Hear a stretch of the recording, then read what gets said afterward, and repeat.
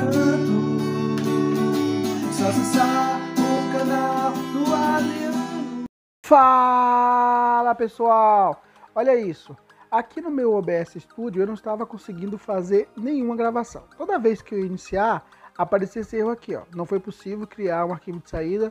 Verifique o registro para mais detalhes do erro. Eu resolvi isso de um método bem simples e eu vou te mostrar aqui agora. Você vai fazer o seguinte, você clica aqui na, na parte superior esquerdo em arquivo e agora você clica em configurações.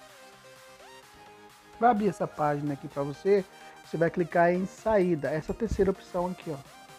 E aqui, pessoal, no modo de saída, simplesmente o meu estava simples e eu coloquei em avançado, eu mudei. Se o seu tiver avançado, você pode colocar em simples para ver se vai resolver. Beleza, você mudou aqui. Agora aqui na parte de baixo você clica em essa parte aqui, ó. Você clica em aplicar e depois você clica em OK.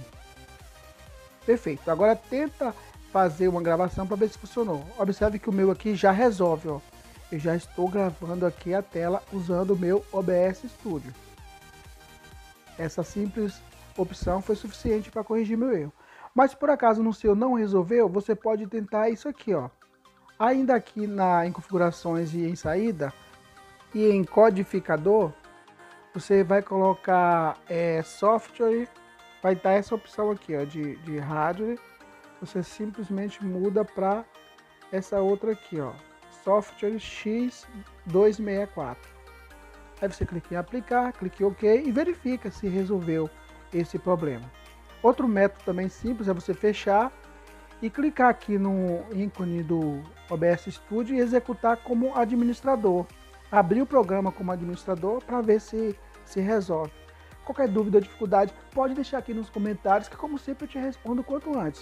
Se esse vídeo te ajudou, olha, deixa seu like e também se inscreve no canal. Até o próximo vídeo então, tchau, tchau!